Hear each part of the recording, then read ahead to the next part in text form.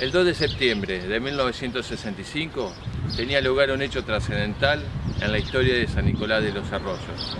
La campana que había acompañado a la iglesia catedral durante muchísimos años va a ser reemplazada por otras nuevas. Esto ocurre aquí en San Nicolás el 2 de septiembre de 1965. El 2 de septiembre de 1965 fue un día muy especial para la feligresía católica de San Nicolás.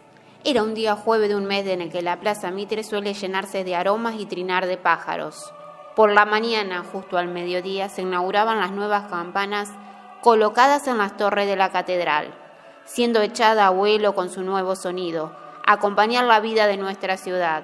Habían sido bendecidas unos días antes, a fines de agosto, en una ceremonia realizada en el atrio de la catedral le fueron dados los nombres de Cristo Rey, inmortal de los siglos, María Madre de la Iglesia y San Nicolás, patrono de la ciudad. La vieja campana había sido donada por una familia de apellido Arpide y la hicieron en su honor, tal como lo afirma la leyenda al pie de la misma. En aquellos años era intendente municipal Don Atilio Parodi, 1963-1966. Parodi fue un importante dirigente y protagonista en la política de San Nicolás. Militaba dentro de las filiales de la Unión Cívica Radical y fue elegido en el año 1963 intendente municipal durante el gobierno de Arturo Ilía. Su gestión fue interrumpida a partir del golpe de Estado iniciado por el general Onganía.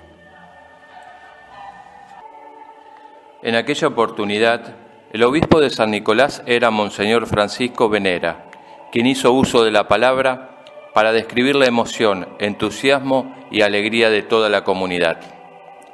Monseñor Francisco Venera había nacido en la provincia de Santa Fe el 24 de junio de 1911.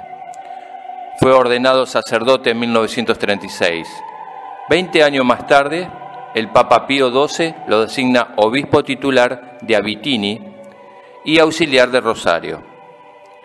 En 1959, el Papa Juan XXIII lo traslada como obispo de San Nicolás de los Arroyos y ejerció ese cargo hasta 1966, en que renuncia por motivos de salud.